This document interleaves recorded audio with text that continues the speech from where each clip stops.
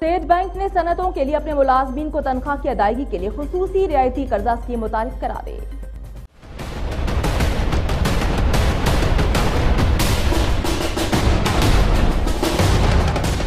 اس scheme کو refinance for payment of wages and salary to the workers and employees of business concern کا نام دیا گیا ہے۔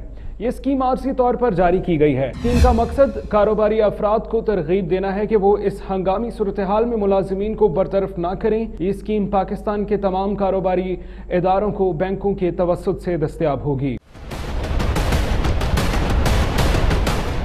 اس اسکیم میں مستقل عارضی کانٹریکٹ ڈیلی ویجز اور آؤٹ سورس ملازم بھی شامل ہوں گے۔ جو ادارے اپریل سے جون کے درمیان اپنے ملازمین کو برطرف نہیں کریں گے، وہ اس اسکیم سے مستفید ہو سکیں گے۔ اس اسکیم پر مارک اپ پانچ فیصد ہوگا۔ ایکٹ ٹیکس پیئر لسٹ والوں کے لیے شرائع سود چار فیصد ہوگی۔ اس اسکیم میں چھوٹے کاروباری اداروں کو تین ماہ کی تنخواہ بیس کروڑ روپے تک ہے۔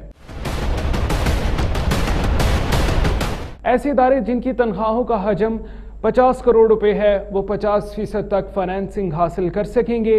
ان قرضوں کے لیے processing fee credit limit prepayment penalty charge نہیں ہوگی۔ قرض کے اصل رقم دو سال میں ادا کرنا ہوگی۔ قرض کی مدت میں چھ ماہ کی رعایت بھی ہوگی۔